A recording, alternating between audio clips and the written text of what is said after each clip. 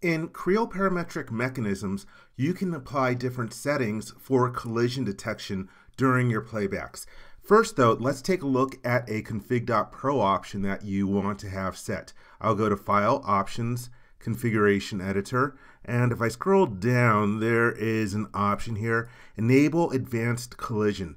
The default value for this is no. I recommend you set this to yes. So again, you get additional flexibility in how you want the software to react when the collision is detected. Let's cancel out of here. To define your collision detection settings, there are two different places you can do it. One is from your model properties, which you can get to from File, Manage File, prepare model properties. I always forget where it is and I'm in that command all the time. So I have it added to my quick access toolbar so I can get to it from one click instead of searching around in the menu like I just did. So inside of this dialog box for an assembly, you have collision detection, and right now it's set to no detection. If I click on the change button, I will get a dialog box that allow me to choose different options. Right now it's set to no collision detection. The next option is global collision detection. I recommend against that generally, especially for large assemblies, because it can be really slow to calculate. And if the assembly is big enough, it can just freeze up the analysis.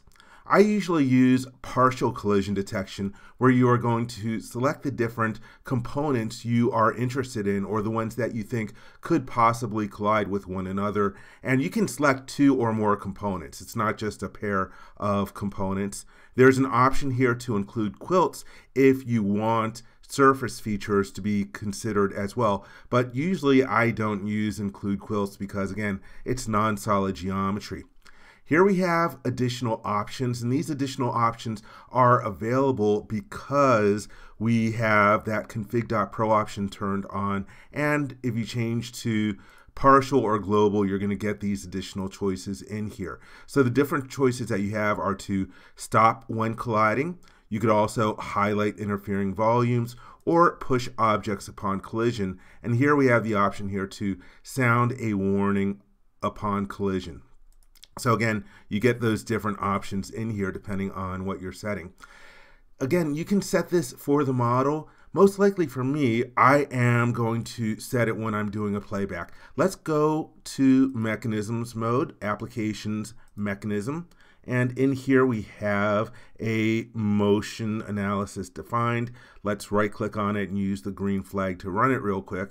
And here you can see it operating in here. So we've gone through it. Now we have access to the playbacks. If you go to the playback itself and just hit the play button, well, right now it's calculating the different frames. You don't set it from within here. I'm going to close out of the animate dialog box. If you go to the actual playbacks dialog box, here is where we can set the collision detection settings when we are performing the analysis.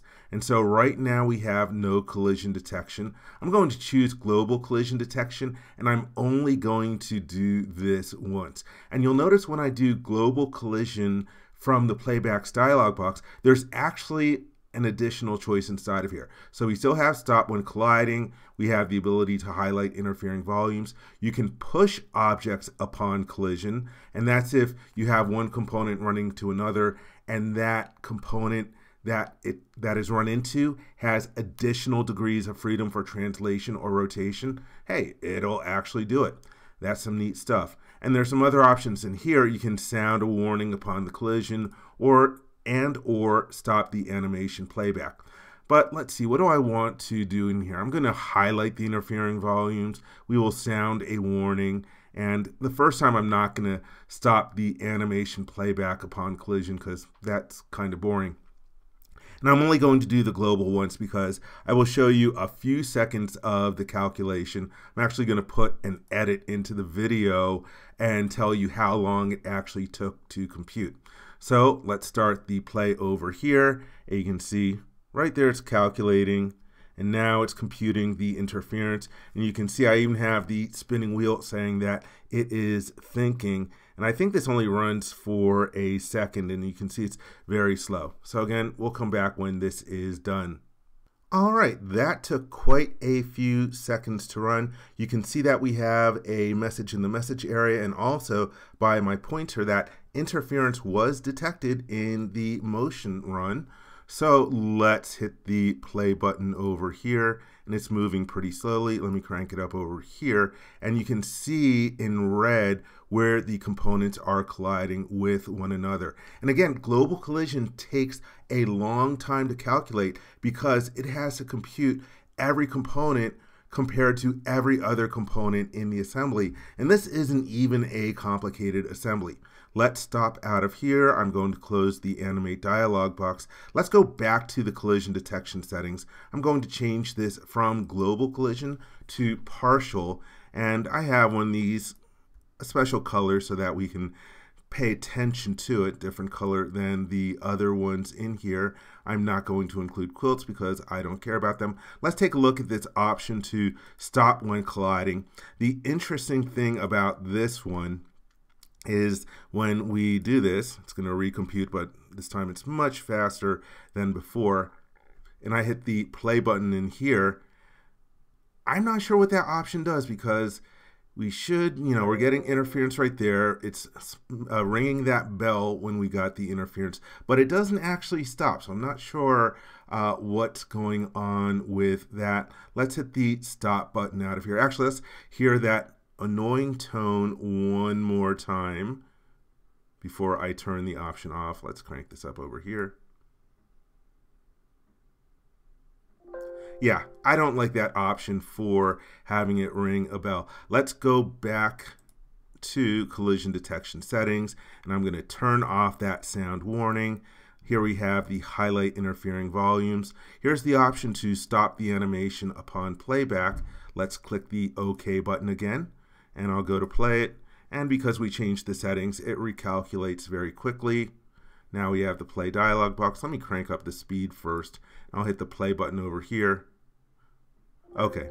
This time it detected the interference. We still got that uh, warning bell that told us, hey, we have interference in here, but it stopped because it had the collision. Let's go back and change it one more time. So again, what I usually do is just have this option here to highlight the interfering volumes. Let's click the OK button and let's once again go to play it, crank up the speed, hit the play button and there you can see the interfering volume uh, that is happening there. I'm not sure why I'm still getting the message bell. uh, but anyhow, those are your collision detection settings. So what is the point of collision detection? If you know that you have collision in your run, then you can make changes to your geometry to get rid of that. So for example, I'm going to go to a component over here. Let's edit some dimensions. Let's change this height dimension from 80 to 100 and then regenerate. And now that the model is different, let's go to analyses.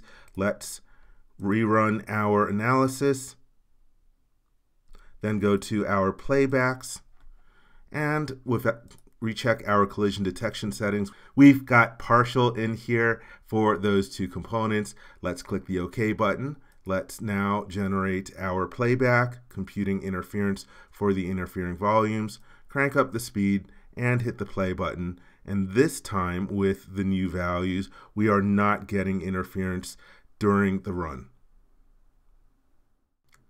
I hope you enjoyed this video. For more information, please visit www.creowindchill.com. If you learned something from this video, please give it a thumbs up. And if you like this video, please click the subscribe button to be informed when new videos are uploaded. Thank you very much.